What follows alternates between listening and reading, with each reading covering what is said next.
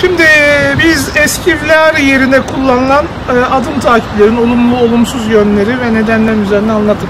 Şimdi bir sürü program yaptık bugün.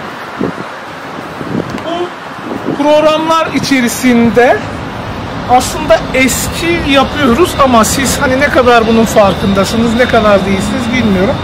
Ben güçlü olmaktan bahsettim Ali'ye karşı. Ali yumruk attığında Ali'ye karşı güçlü olmaktan bahsettim. Eğer güçlüyse bakın vücudumun hareket kabiliyeti şu tarafa gelir misin Tansel? Ben buradayım. Vücudum bir döndü Ali'nin gücüyle. Ve bum direkt gitti. Bak Ali'nin gücünü eskiyle absorbe ettim. Eskiyle absorbe edemediğim yerde adım kullanıyorum. Burada adımın olumlu ya da olumsuz yönü diye bir şey demeyelim de hangisinin pratik oluşu üzerine konuşacak olursak eğer güçlüysem rakibe karşı dış alımlarda eskiv yapmak lehime. Adım kullanmak fazla enerji kullanmama, fazla zaman kaybetmeme neden olacak.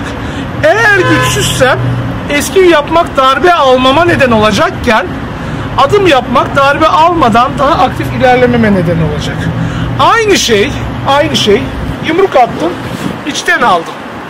Şimdi bunun üzerime yapmış olduğu baskı beni eğer güçlüysem hiç adım kullanmadan direkt gitmeme neden oldu. Ama nasıl bak bir eski oldu burada gördük mü? Vum, bir hareket.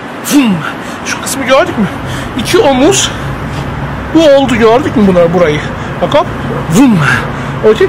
Bu kısım eğer güçlüysem zaman kaybetmedim ve çok aktif hareket ettim. Eğer güçsüzsem bu darbeyi yeme ihtimalim doğuyor. Eğer güçsüzsem tüm dönmem gerekiyor. Adımla birlikte bir dönüş sağlamam gerekiyor. Güçsüzsem eski yaparken darbe alma ihtimalim var. Aslında bunların kullanım alanı bu şekilde. Hep eğerler mevcut. Yani e, güçlüysen eski, güçsüzsen adım kullanmak mantıklı olacak. Oldu mu? Bu programları çalışırken kendinizi bazen güçlü yerine koyun. Daha güçsüz bir rakip düşünün. Eskivle çalışın. Daha sonra daha güçlü bir rakip koyun ve adımla çalışın. Bu alternatifleri test edin. Kolay gelsin.